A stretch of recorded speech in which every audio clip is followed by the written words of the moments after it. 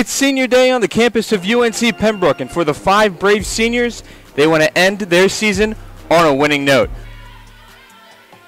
They'll dump it inside on the baseline to Deja McCain. That baseline jumper is good. Inside by Blue. She has tremendous court vision. Uh, did a good job against UNCP the first time these two teams been distributing the basketball. Jumpers off the mark. There's Ebron with the board. McCain in the lane. Floater gets the fall.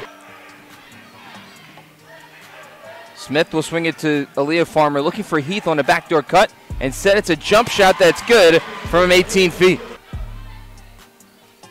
Dump inside to McCain. Can she beat the buzzer? Yes! Aaliyah Farmer checks back in for the Braves.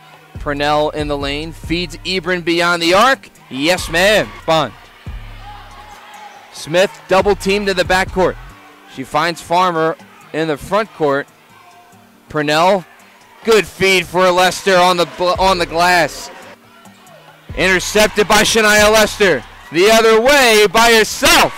And it's a 10-point game. Something we've seen from Shania Lester this entire season.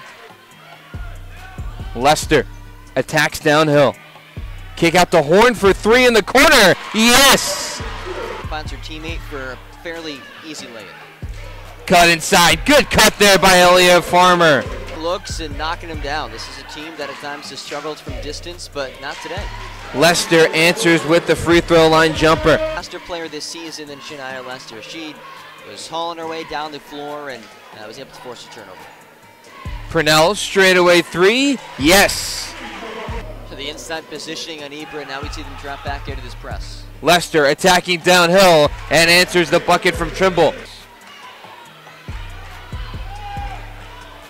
Purnell attacks. Farmer fakes the jumper, goes in the lane, and gets the runner to fall.